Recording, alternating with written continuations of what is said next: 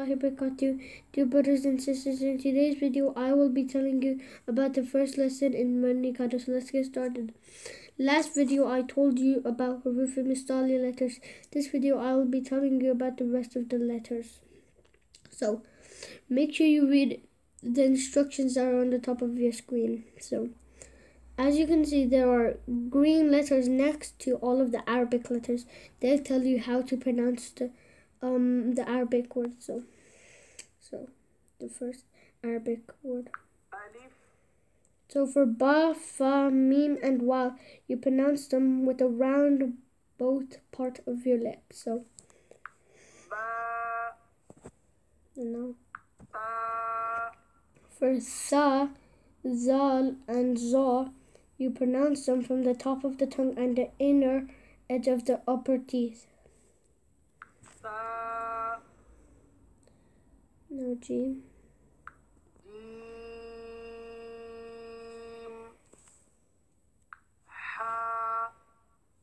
For ha and ain, you pronounce them from the middle part of your throat. So, every all of the Mustali letters, you do not pronounce them from both part of your rounded lips. So, And Ghain, you pronounce them from the top part of your throat.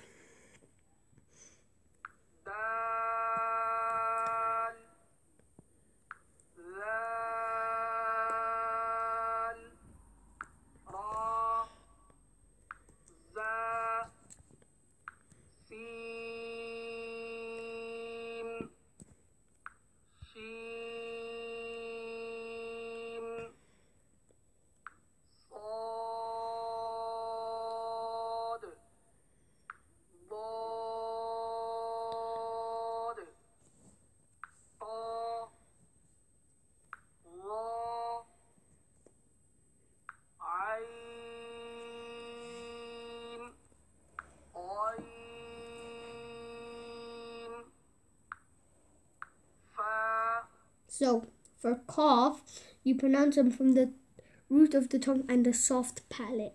So, but for kaf, you pronounce it from the root of the tongue and a hard palate.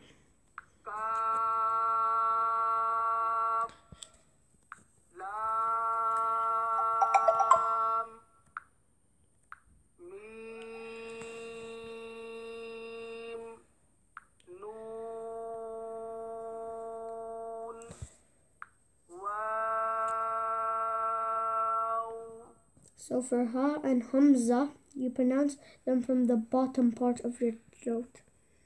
So. Ha, Hamza. And now, yeah. Yeah.